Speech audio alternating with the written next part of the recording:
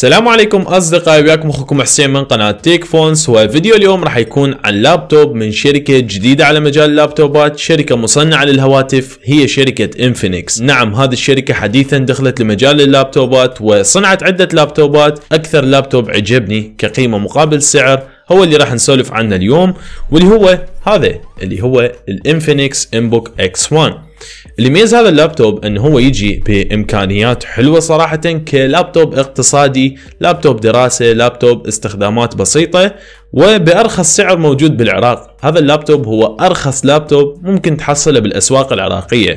فمع إنه هو من شركة جديدة على مجال اللابتوبات ممكن مو الكل توثق بها كأول أو ثاني لابتوب تطرحه.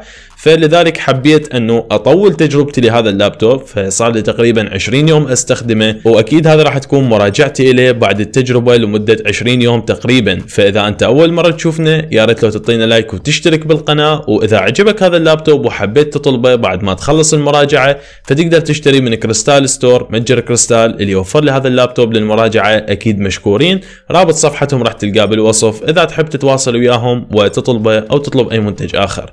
يلا بدون تاخير خلونا نبلش.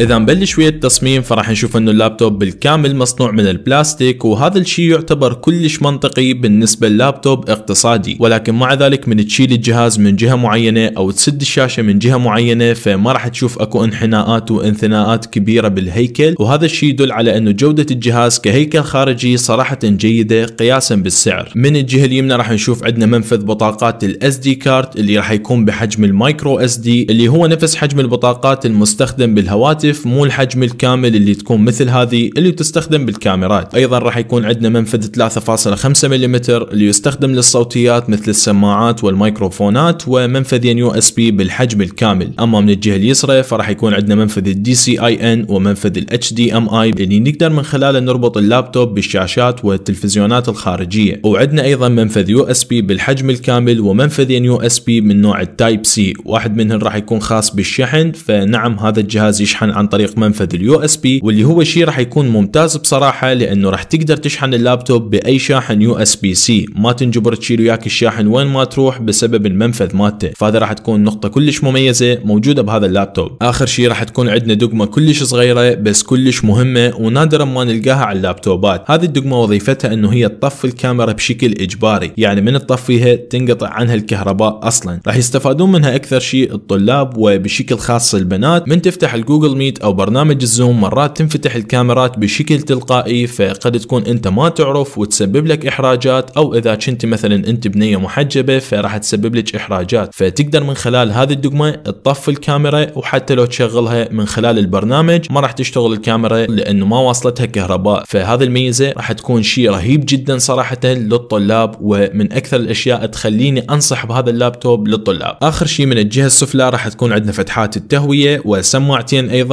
وحدة على الجهة اليمنى والثانية على الجهة اليسرى والسماعة الثالثة راح تكون موجودة فوق الكيبورد اللي مع بعض راح ينطوك تجربة صوت عالية ومسموعة بكل الظروف ولكن كجودة وتفاصيل صراحة راح تكون ضعيفة أو يا دوب نقدر نقول عنها مقبولة. راح يكون الصوت واضح ككلام شخص مثلا بمسلسل أو فيلم أو حتى لو دكتور بالمحاضرات دا يشرح راح يكون الصوت واضح ككلام الشخص ولكن كجودة وتفاصيل بالأغاني مثلا راح تكون ضعيفة. فإذا تشغل أغنية مثلا تحس المغني كانما دا يسولف صوته هو شخصيا راح يكون واضح ولكن كإيقاع وتفاصيل و bass وهذه الأمور ما راح تكون واضحة بكل صراحة. بس مع ذلك يعتبر هذا الموضوع مقبول لأنه سعر الجهاز راح يكون مناسب وراح نتعرف عليه بنهاية المقطع. بس أكثر شيء عجبني بهذا اللابتوب واللي أقدر أقول عنه ممتاز هو الشاشة لأنه هذه الشاشة تجي بمقاس ال 14 إنش واللي قد البعض يشوفه حجم صغير. ولكن شخصيا أعتبره حجم كلش مناسب لأنه ما راح يخلي حجم اللابتوب نفسه يكون كبير. كبير فبالتالي تقدر تتنقل به بسهولة تخليه بجنطة صغيرة أو حتى تشيله بإيدك بدون ما تعاني من موضوع الحجم والوزن. دقتها راح تكون 1080 بكسل يعني full HD plus وهي راح تكون من نوع ال IPS LCD وأكيد بتردد ال 60 هرتز. أكثر شيء عجبني بهذه الشاشة واللي خلاني أعتبرها ممتازة هو الالوان لأنه ألوانها ما تتغير من تتغير زاوية الرؤية. يعني إحنا شايفين من ننزل شاشة اللابتوب أحيانا يزيد السطوع ومن نصعدها يزيد التباين وإذا نشوفها من زاوية يمنى أو زاوية يسرى راح تتخربط الألوان وأحيانا تسبب صداع من نستخدمها لفترات طويلة بسبب رداءة الشاشة أو رداءة النوعية. كل هذه المشاكل اللي ذكرتها ما موجودة هنا الألوان تبقى مثل ما هي مهما تغيرت زاوية الشاشة وأيضا جودة الشاشة نفسها ك quality راح تكون زينة ما تسبب لك صداع بالفترات الطويلة. تقدر تفتح الشاشة بدرجة 180 مثل ما تشوف بحيث يصير الجهاز مستقيم تماما. ممكن تستفاد من هذه الميزة ببعض الحالات الخاصة. الحواف أيضا راح تكون كلش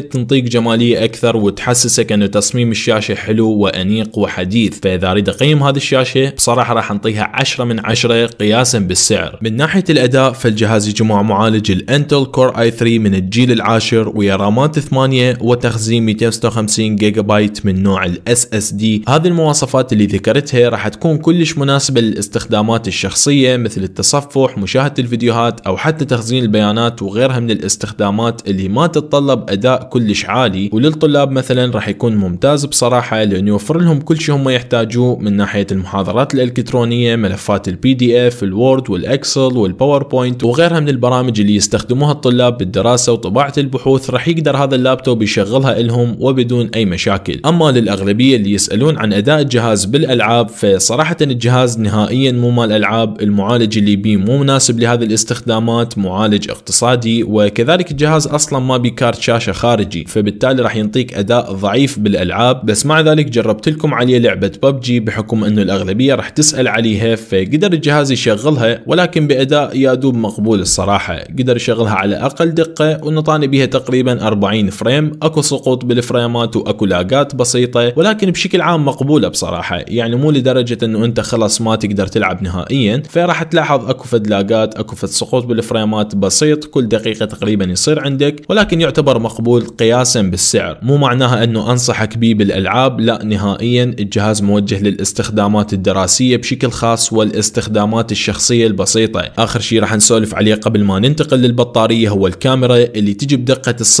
0.8 ميجا بكسل تقدر تصور فيديوهات بدقة ال HD ولكن المفاجئة هي أنه هذه الكاميرا تدعم التثبيت الإلكتروني. يعني في حال اهتز اللابتوب ما راح تطلع الاهتزازات بالفيديو واللي صراحة ما أعرف ليش هذه الميزة موجودة على لابتوب يعني بالنهاية ماكو واحد راح يشيل لابتوب ويصور بيه فيديو ولكن هي موجودة في حال احتاجتها. ميزة حلوة لطيفة بس ما أعتقد راح تستفاد منها. مرحبا شلونكم أنا وياكم حاليا من كاميرا ال Infinix Inbook X1 بوجود ظروف إضاءة ممتازة إضاءة الغرفة اللي أمامي واثنين softbox هذه هي النتيجة واللي أتوقع راح تكون كافية ومقبولة جدا ككاميرا لابتوب دقتها أقل من 1 ميجا بكسل وعلى لابتوب بهذا السعر فراح تكون كافية. تطلع وجهك بشكل يا دوب مقبولة بس هي كاميرات اللابتوب بشكل عام هي هيجي.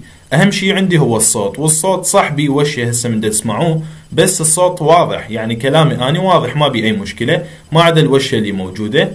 شيء كلش طبيعي بكاميرات اللابتوبات وخصوصا بهذا السعر. البطارية تجي بقدرة ال 55 واط واللي قدرت تنطيني أداء ممتاز بكل معنى الكلمة بحيث قدرت توصل وياي أكثر من 3 ساعات باللعب المتواصل للعبة ببجي واللي هو خلينا نقول أكثر استخدام ممكن يستهلك البطارية وقدرت توصل وياي بين 6 إلى 7 ساعات بالتصفح ملفات ال PDF ومشاهدة الفيديوهات والاستخدامات البسيطة. فتقدر تطمئن من ناحية الشحن إذا عندك مشوار 3 ساعات 4 ساعات استخدام تقدر تأخذ اللابتوب بدون ما تشحنه وتطمئن من هذه الناحية. وأكيد راح يجي وياه شاحن بالعلبة بقدرة ال 65 واط اللي راح يفلي لك البطارية من الصفر إلى المية خلال ساعة ونص تقريبا. أكيد اللابتوب راح يكون متوفر بالأسواق العراقية مثل ما ذكرت بالمقدمة بأرخص سعر هو 350 دولار. بالعراق يطلع تقريبا 450 أو 460 ألف دينار ممكن أكثر وممكن أقل على حسب سعر صرف الدولار لأنه يوميا يتغير بحكم أن الوضعية مو مستقرة من ناحية الدولار. فإذا تقول لي حسين بالنهاية تنصحني به